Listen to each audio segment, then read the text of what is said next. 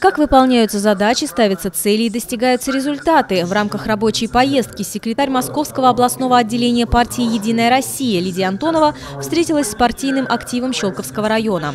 В зале районного культурного комплекса звучат отчеты и доклады. Время строго регламентировано. О проделанной работе отделений близлежащих городов и муниципалитетов рассказывают ответственные секретари, люди по сути, отвечающие за развитие и работу «Единой России» на местных уровнях.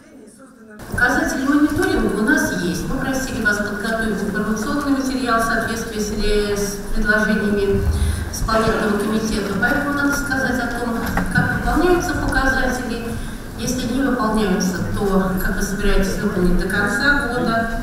А если появились новые муниципальные проекты, которых не было раньше, которые нам интересно услышать, пожалуйста, будем благодарны за эту информацию. На сцену для доклада поднимались партийцы из Ногинска, Сергиева Посада, Черноголовки, Звездного городка, Ивантеевки, Королева, Фрязина, Лосино-Петровского и Красноармейска. Секретари местных отделений и руководители исполкомов партии не только отчитывались о работе своих отделений, но и озвучивали основные трудности, связанные с работой на местах, а также делились планами работы на будущее. Так, глава Щелковского района, секретарь Щелковского отделения партии «Единая Россия» Надежда Суровцева в своей речи отметила, что прошедший период стал для партии насыщенным событиями и переменами. Она подчеркнула, действия были направлены на активизацию работы наших первичных отделений, проведение мероприятий с участием депутатского корпуса.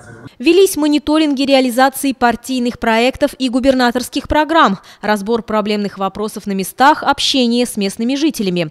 По словам Надежды Суровцевой, такой политики местное отделение планирует придерживаться и в дальнейшем, ведь она дает видимые результаты. Я хочу сказать, что именно системности этой работы, вот, чтобы система была работы, мы сейчас с депутатами всех советов депутатов поселений района раз, два раза в месяц, получается, через пятницу проводим совместные такие оперативки, на которых регулируем работу по всем направлениям, которые я сейчас перечислила. Итоги в завершении встречи подвела сама Лидия Антонова. Она поделилась собственным мнением о работе местных отделений. По достоинству была оценена работа каждого муниципалитета.